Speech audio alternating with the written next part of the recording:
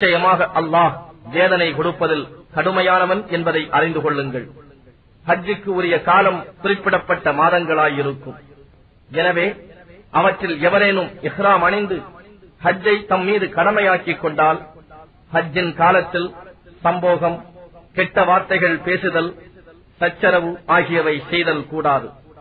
நீங்கள் செய்யும் ஒவ்வொரு நன்மையையும் அல்லாஹ் அறிந்தவனாகவே இருக்கின்றான். மேலும் ஹஜ்ஜுக்கு தேவையான பொருட்களை சித்தப்படுத்தி வைத்துக் கொள்ளுங்கள். ஆனால் இவ்வாறு சித்தப்படுத்தி வைப்பவற்றுள் மிகவும் நன்மையானது தக்குவா என்னும் பயபக்தியே ஆகும்.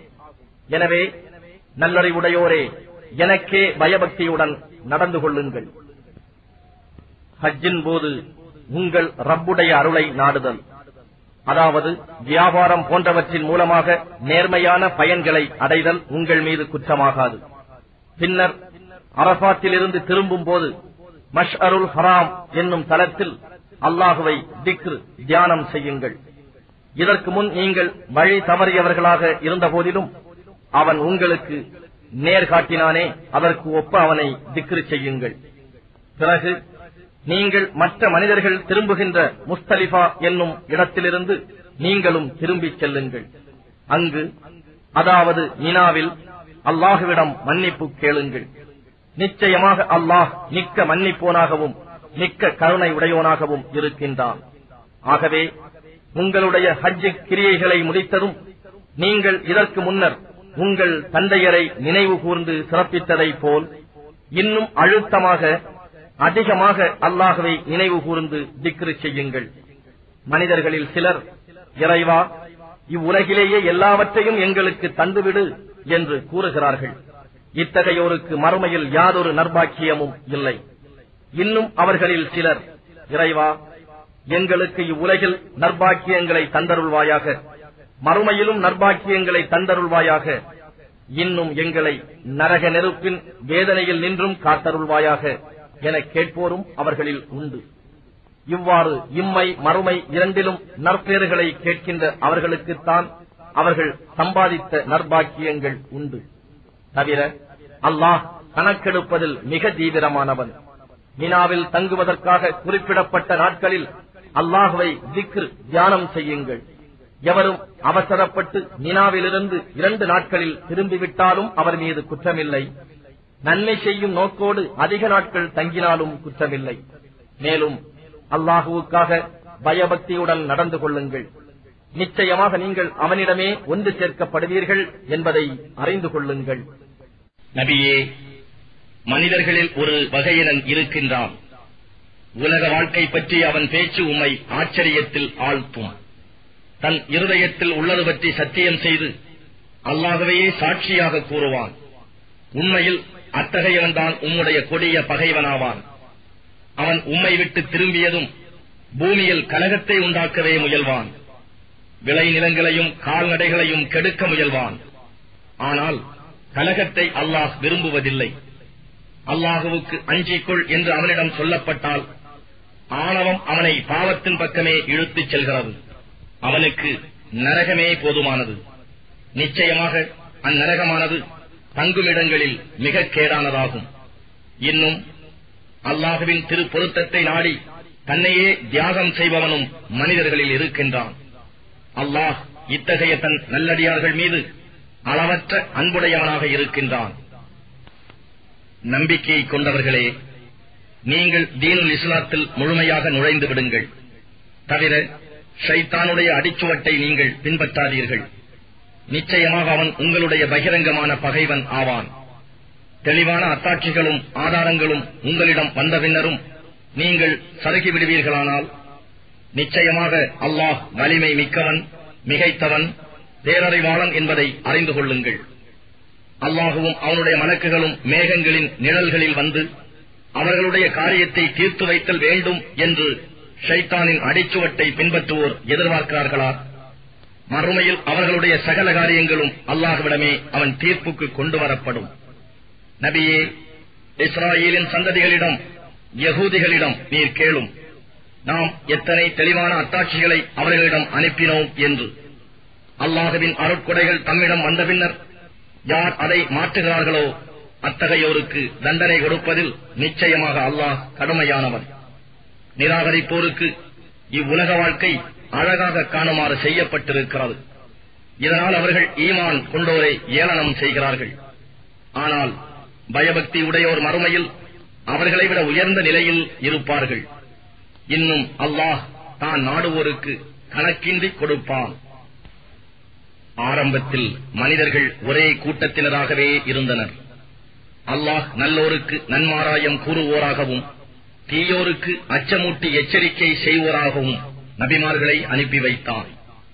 அத்துடன் மனிதர்களிடையே ஏற்படும் விகற்பங்களை தீர்த்து வைப்பதற்காக அவர்களுடன் உண்மையுடைய வேதத்தையும் இறக்கி வைத்தார் எனினும் அவ்வேதம் கொடுக்க பெற்றவர்கள் தெளிவான ஆதாரங்களும் அத்தாட்சிகளும் வந்த பின்னரும் தம்மிடையே உண்டான பொறாமை பகை ஆகியவற்றின் காரணமாக மாறுபட்டார்கள். ஆயினும் அல்லாஹ் அவர்கள் மாறுபட்டு புறக்கணித்துவிட்ட உண்மையின் பக்கம் செல்லுமாறு ஈமான் கொண்டோருக்கு தன் அருளினால் நேர்வழி காட்டினான். இவ்வாறே அல்லாஹ் தான் நாடியோரை நேர்வழியில் செலுத்துகின்றான். உங்களுக்கு முன்னே சென்று போனவர்களுக்கு ஏற்பட்ட சோதனைகள் உங்களுக்கு வராமலேயே சொர்க்கத்தை அடைந்து விடலாம் என்று நீங்கள் எண்ணுகிறீர்களா? அவர்களை வறுமை பிணி போன்ற கஷ்டங்களும் துன்பங்களும் பீடித்தன. அல்லாஹுவின் உதவி எப்பொழுது வரும் என்று கூறும் வரையில் அவர்கள் அலைக்கழிக்கப்பட்டார்கள். நிச்சயமாக அல்லாஹுவின் உதவி சமீபத்திலேயே இருக்கிறது என்று நாம் ஆறுதல் கூறினோம். அவர்கள் உம்மிடம் கேட்கிறார்கள் எதை யாருக்கு செலவு செய்ய வேண்டும்? என்று. நீர் கூறும் நன்மையை நாடி நல்ல பொருள் எதனை நீங்கள் செலவு செய்தாலும் அதை தாய் தந்தையருக்கும் நெருங்கிய உறவினர்களுக்கும் அனாதைகளுக்கும் ஏழை மிஸ்கின்களுக்கும் வழிபோக்கர்களுக்கும் கொடுங்கள். மேலும் நீங்கள் நன்மையான எதனை செய்தாலும் அல்லாஹ் அதை அறிந்து தக்க கூலி தருபவனாக இருக்கின்றான். நபியே சாராயத்தையும் சூதாட்டத்தை பற்றியும் அவர்கள் உம்மிடம் கேட்கின்றனர். நீர் கூறும் அவ்விரண்டிலும் பெரும் பாவம் இருக்கிறது. மனிதர்களுக்கு அவற்றில் சில பயன்களும் உண்டு. ஆனால் அவ்விரண்டிலும் உள்ள பாவம் அவ்விரண்டிலும் உள்ள பயன்களை விட பெரிது. நபியே தர்மத்திற்காக எவ்வளவில் எதை செலவு செய்ய வேண்டும் என்று அவர்கள் உம்மிடம் கேட்கின்றனர். உங்கள் தேவைக்கு வேண்டியது போக மீதமானவற்றை செலவு செய்யுங்கள் என்று கூறுவீராக. நீங்கள் சிந்தித்து உணரும் பொருட்டு அல்லாஹ் தன் வசனங்களையும் அத்தாட்சிகளையும் இவ்வாறு விவரிக்கின்றான். மேற்கூறிய இரண்டும் இவ்வுலகிலும் மறுமையிலும் என்ன பலன்களை தரும் என்பதை பற்றி நீங்கள் தெளிவு பெறுவதற்காக. அனாதைகளை பற்றி அவர்கள் உம்மிடம் கேட்கின்றனர். நீர் கூறுவீராக அவர்களுடைய காரியங்களை சீராக்கி வைத்தல் மிகவும் நல்லது. நீங்கள் அவர்களுடன் கலந்து வசிக்க நேரிட்டால் அவர்கள் உங்கள் சகோதரர்களே ஆவார்கள். இன்னும் அல்லாஹ் குழப்பம் உண்டாக்குபவனை சீர் செய்பவன் என்றும் பிரித்தறைகின்றான். அல்லாஹ் நாடியிருந்தால் உங்களை கஷ்டத்திற்கு உள்ளாக்கியிருப்பான். நிச்சயமாக அல்லாஹ் மிகைத்தவன் ஞானம் மிக்கவன்.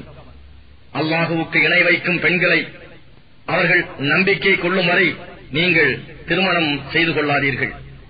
இணை வைக்கும் ஒரு பெண் உங்களை கவரக்கூடியவளாக இருந்த போதினும் அவளை விட மோமினாவான ஓர் அடிமை பெண் நிச்சயமாக மேலானவள் ஆவாள். அவ்வாறே இணை வைக்கும் ஆண்களுக்கு அவர்கள் நம்பிக்கை கொள்ளும் வரை மூமினாவான பெண்களுடன் நீங்கள் திருமணம் செய்து வைக்காதீர்கள். இணை வைக்கும் ஆண் உங்களுக்கு கவர்ச்சி ஊட்டுபவனாக இருந்த போதிலும் ஒரு மூமினான அடிமை அவனை விட மேலானவன். நிராகரிப்போராகிய இவர்கள் உங்களை நரக நெருப்பின் பக்கம் அழைக்கிறார்கள். ஆனால் அல்லாஹுவோ தன் கிருவையால் சொர்க்கத்தின் பக்கமும் மன்னிப்பின் பக்கமும் அழைக்கின்றான். மக்கள் அல்லாஹுவை தியானித்து அவன் கட்டளைகளின்படி ஒழுக இவ்வாறு தன் வசனங்களை தெளிவாக விளக்குகிறான். பெண்களின் மாதவிடாய் பற்றியும் உம்மிடம் வினவுகிறார்கள். நீர் கூறும் அது ஓர் உபாதையான தீட்டு ஆகும். ஆகவே மாதவிடாயின் போது பெண்களை விட்டும் விலகி இருங்கள். அவர்கள் தூய்மையாகும் வரை அவர்களை அணுகாதீர்கள். அவர்கள் தூய்மை அடைந்தபின் அல்லாஹ் எப்படி கட்டளையிட்டிருக்கின்றானோ அதன்படி அவர்களிடம் செல்லுங்கள். கழிவிறக்கம் கொண்டு பாவங்களை விட்டு மீள்பவர்களை நிச்சயமாக அல்லாஹ் நேசிக்கிறான். இன்னும் தூய்மையாக இருப்போரையும் நேசிக்கின்றான். உங்கள் மனைவியர் உங்கள் விளை நிலங்கள் ஆவார்கள்.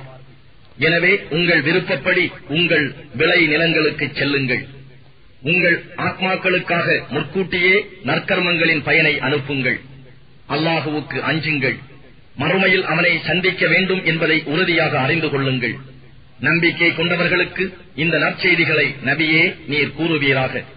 இன்னும் நீங்கள் அல்லாஹவை கொண்டு சத்தியம் செய்வதனால் நீங்கள் நற்கருமங்கள் செய்தல் இறைபக்தியுடன் நடத்தல் மனிதர்களிடையே சமாதானம் செய்து வைத்தல் போன்றவற்றில் அவனை ஒரு தடையாக செய்து விடாதீர்கள்.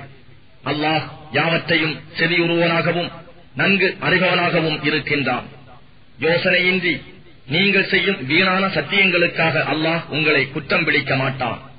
ஆனால் உங்களுடைய இருதயங்கள் வேண்டும் என்றே சம்பாதித்துக் கொண்டதைப் பற்றி உங்களை குற்றம் பிடிப்பான். இன்னும் அல்லாஹ் மன்னிப்போனாகவும் மிக்க பொறுமை உடையோனுமாக இருக்கின்றான். தங்கள் மனைவியருடன் கூடுவதில்லை என்று சத்தியம் செய்து கொண்டு விலகி இருப்பவர்களுக்கு நான்கு மாத தவணை உள்ளது. எனவே அதற்குள் அவர்கள் மீண்டும் சேர்ந்து கொண்டால் நிச்சயமாக அல்லாஹ் மன்னிப்போனாகவும் மிக்க கருணை உடையோனாகவும் இருக்கின்றான். ஆனால் அவர்கள் தலாக் செய்து கொள்ள உறுதி கொண்டார்களானால் நிச்சயமாக அல்லாஹ் யாவற்றையும் செவி உருவனாகவும் நன்கு அறிபவனாகவும் இருக்கின்றான். தலாக் கூறப்பட்ட பெண்கள் தங்களுக்கு மூன்று மாதவிடாய்கள் ஆகும் வரை பொறுத்திருக்க வேண்டும். அல்லாஹுவையும் இறுதி நாளையும் அவர்கள் நம்புவார்களாயின் தம் கர்ப்ப கோளறைகளில் அல்லாஹ் படைத்திருப்பதை மறைத்தல் நியாயமாகாது. ஆனால் பெண்களின் கணவர்கள் அவர்களை திரும்ப அழைத்துக் கொள்வதன் மூலம் இணக்கத்தை நாடினால் அத்தவணைக்குள் அவர்களை மனைவியராக திருப்பிக் கொள்ள அவர்களுக்கு அதிக உரிமை உண்டு. கணவர்களுக்கு பெண்களிடம் இருக்கும் உரிமைகள் போன்று முறைப்படி அவர்கள் மீது பெண்களுக்கும் உரிமை உண்டு. ஆயினும் ஆண்களுக்கு அவர்கள் மீது ஒருபடி உயர்வு உண்டு. மேலும் அல்லாஹ் வல்லமையும் ஞானமும் இக்கோனாக இருக்கின்றான். இத்தகைய தலாக் இரண்டு முறைகள்தான் கூறலாம். பின் தவணைக்குள் முறைப்படி கணவன் மனைவியாக சேர்ந்து வாழலாம். அல்லது நேர்மையான முறையில் பிரிந்து போக விட்டுவிடலாம். இன்னும் நீங்கள் மனைவியருக்கு கொடுத்தவற்றை திருப்பி எடுத்துக் கொள்ளுதல் நியாயம் அல்ல. ஆனால் அல்லாஹுவின் வரம்புகளை நிலைநிறுத்த முடியாது என்று அவ் இருவரும் அஞ்சினால் இன்னும் நீங்கள் நியாயாதிபதிகள் அல்லாஹுவின் வரம்புகளை அவர்களால் நிலைநிறுத்த முடியாது என்று அஞ்சினால் அவள் கணவனுக்கு ஏதேனும் ஈடாக கொடுத்து பிரிந்து விடுவதில் குற்றமில்லை. இவை அல்லாஹ் ஏற்படுத்தியுள்ள வரையறைகளாகும் ஆகையால் அவற்றை மீறாதீர்கள். எவர் அல்லாஹுவின் வரையறைகளை மீறுகிறார்களோ அவர்கள் அக்கிரமக்காரர்கள் ஆவார்கள். மீட்ட முடியாதபடி அதாவது இரண்டு தடவை தலாக் சொன்ன பின்னர் மூன்றாம் தலாக் சொல்லிவிட்டால் கணவன் அப்பெண்ணை மறுமணம் செய்து கொள்ள முடியாது. ஆனால் அவள் வேறு ஒருவனை மணந்து அவனும் அவளை தலாக் சொன்னால் அதன்பின் முதற் கணவன் மனைவி சேர்ந்து வாழ நாடினால் அதன் மூலம் அல்லாஹுடைய வரம்புகளை நிலைநிறுத்த முடியும் என்று எண்ணினால் அவர்கள் இருவரும் மறுமணம் செய்து கொண்டு மன வாழ்வில் மீள்வது குற்றமல்ல. இவை அல்லாஹுவின் வரையறைகளாகும். இவற்றை அல்லாஹ் புரிந்து கொள்ளக்கூடிய மக்களுக்கு தெளிவாக எடுத்துக் காட்டுகிறான்.